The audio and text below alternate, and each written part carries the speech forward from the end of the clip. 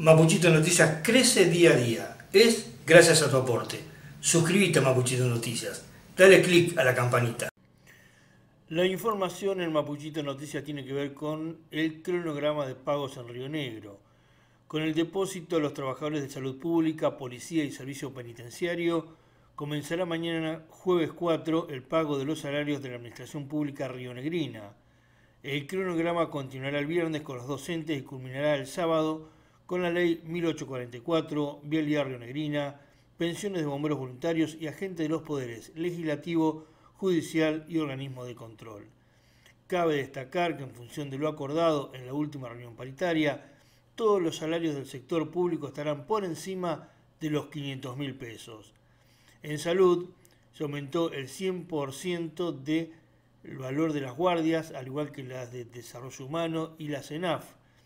Para todos los trabajadores se otorgarán aumentos de entre 100.000 y 140.000 pesos, de acuerdo a la antigüedad y categoría, y se blanqueó como suma remunerativa una parte del aumento otorgado en el último trimestre del año pasado.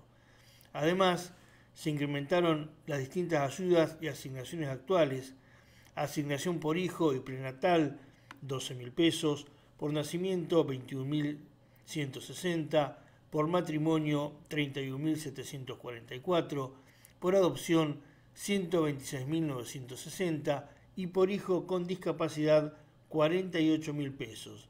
La ayuda escolar es de 20.000 pesos y con hijo con discapacidad 40.000 pesos.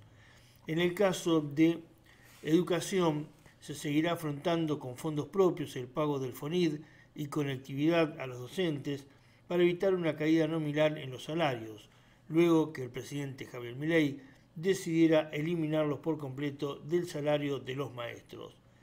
Respecto del personal de la policía de Río Negro, también aumentó el valor del punto policial de 1.117 pesos a 1.465 y ningún empleado ganará menos de 500.000 pesos.